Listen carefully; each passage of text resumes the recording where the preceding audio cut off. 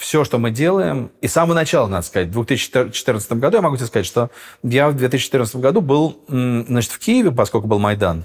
Потом я полетел в, в Симферополь, понимая, что сейчас начнется захват. Начался захват. Я был в Крыму, писал репортажи. Мне важно было наблюдать и понимать, что я основывал свое мнение на том, что я Ты вижу. видел. И это было самое принципиальное. Я должен был быть там. При том, что, да, в «Экономисте» мало цитат, «Экономист» не про репортажи просто, но я должен был быть там и видеть, чтобы вообще понимать, что происходит. Когда я понял, что все, история с Крымом за, как бы закрыта, то есть понятно, что его сдали, а, я полетел... На Донбасс. На Донбасс. И я, все мои, как, бы, как только открыли аэропорт в Симферополе, в основном все коллеги оставались в Крыму, а, а я, где еще ну, было о чем писать, а я полетел в Донецк, а, потому что мне нужно было понять и увидеть, что, наверное, можно было, в принципе, написать это, сидя и в Севастополе, и, что и даже ты увидел? я очень многое увидел. О, я очень много увидел. Я увидел вот что. Просто это корень вот этих вопросов. Где вы были 8 да, я, лет? я могу сказать, где я был. Я был в Донецке в самом начале. Я увидел вот что. Я увидел, что флаг над администрацией города Донецка в тот день, когда у меня сдавался номер, э, менялся примерно 5 или 6 раз. Там сидел такой персонаж, Губарев, по-моему, его звали. Еще до э, Пушилина и до всех этих товарищей, там был еще такой какой-то дугинский парень, которого, значит, завели в эту администрацию. Кто завел? Ну, русские, не знаю, спецслужбы или местные, а, потому что там были много местных, а, там были разные разборки между местными олигархами, между местной властью. Там все было совсем а, не так очевидно, потому что Майдан воспринимался большим количеством людей в Донбассе как враждебное. В Донецке? В Донецке, да. При том, что в Донецке был свой Майдан, и какие-то невероятно смелые люди выходили, студенты в основном, выходили, разворачивали украинский флаг. Их периодически били. А, иногда не били. А, но для меня вот что стало очевидно в тот момент. Я понял, я там отписал, отписался материал, потом еще какое-то время там провел. Для меня вот что стало очевидно, что а, никакого внутреннего движения там нету. И никакого... А как ты это понял? Оно не возгоралось. Вот ты понимаешь, всегда ты чувствуешь, когда если есть энергия, и оно может сейчас раз, и как бы... И ты чувствуешь, что идет какая-то движуха. А тут все время какая-то фигня происходит. Какие-то непонятные люди, какие-то политтехнологи, куча политтехнологов. Из России? Про... Из России, из Украины, из Украины отовсюду. Но все это не настоящее. Не... Вот все это какие-то антимайданы, какие-то как-то свозят людей а никакой внутренней, собственно, энергии, возгорания, всего этого нету. Там нету никакого движения, нету толп на улице. Но ты знаешь, когда... Я видел Майдан, я видел, когда было в Грузии, я видел, когда был на Болотной площади. Я знаю, когда это начинает происходить. И поэтому это был, была подлость, поэтому это был политтехнологический... Ну, а в людях, конечно, можно разбудить все, что угодно. А Есть это, это в смысле, что э, поменяли флаг и сел какой-то человек в руководство? Ну сказать. да, но он не мог там удержаться, у него не было поддержки, на самом деле туда никто не сбегался, была какая-то милиция, были было ощущение какого-то сумбура, какого-то хаоса. Потом я был там, когда э, уже была занята администрация. Кем? А, вот этими про... Уже, по-моему, был даже Пушилин. И я туда пришел, и там стоял невероятно плохой запах. Это был такой сквот. И это были, наверное, так очень неполиткорректно говорить, но это был люмпин. Это был... Они заняли еще физически? Они заняли, да. Они Вооруженные? Там, там были вооруженные люди. Это было очень грязно, это было очень неприятно, это было очень некрасиво. Это было несколько агрессивно. Они там ели, они там ходили в туалет. Э, просто там, там был, это было ощущение распада. Какого-то... В этом не было никакого... Не то что эстетического, а просто это было, ну, непонятно кто. Это были такие вот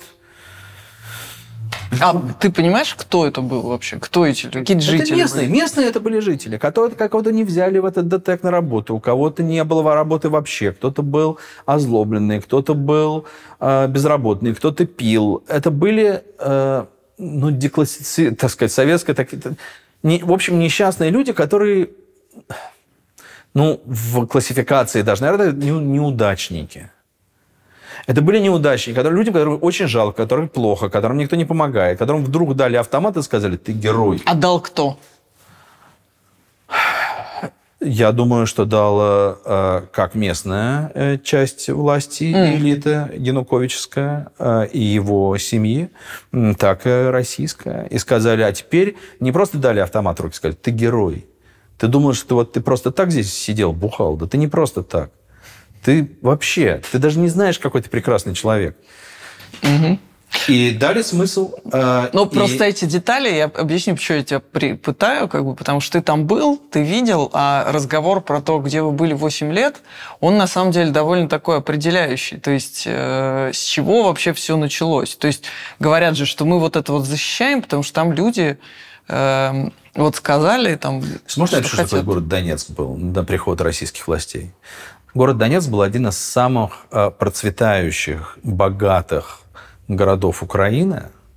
Ну, в Киеве было не хуже, но и немногим лучше. Mm-hmm. Львов был гораздо беднее. Mm-hmm. Там были хорошие рестораны, там были прекрасные гостиницы этого Рената Ахметова. Там много было гостиниц, не только пятизвездочная Рената Ахметова, а там было много гостиниц, четырехзвездочных, и, потому что туда приезжали бизнесмены и заключали сделки. Там был хорошо только что отстроенный отремонтированный аэропорт имени Сергея Прокофьева. Там были чистые, люди, э, чистые улицы. Там были не, не пассионарные люди, там были хорошо работающие. Это был хороший, нормальный город. Даже когда начался Майдан, да, им не понравилось, что это было направлено против Януковича, Януковича хотя они не любили Януковича уже к тому моменту. Но действительно это было все в Киеве. Почему? В Ки... Э, при том, что многие, я говорю, молодежь особенно в Донецке поддержала это. Я думаю, то есть я не думаю, я на 100% уверен, что если бы не российское вторжение, а, то там бы ничего не началось, если бы не товарищ Гиркин, он же Стрелков, и отряды, и Сурков, и раскачивание этой ситуации а, и так далее, ничего бы там не началось. Более того, когда там началось, давайте не будем забывать, что а, довольно быстро Действительно, это все произошло в момент падения власти в Киеве э, и хаоса э, политического, который там был. Но довольно быстро э, украинские вооруженные силы организовались, вспомнили, что они вообще-то вооруженные украинские силы. Возникла какая-никакая власть. И эта власть пошла выбивать этих молодчиков, но это была, ну это было никто, это было, знаешь, на что это было похоже? Ну, не знаю, помнишь ты или нет, ты как раз на 93 это, год? Да, совершенно верно.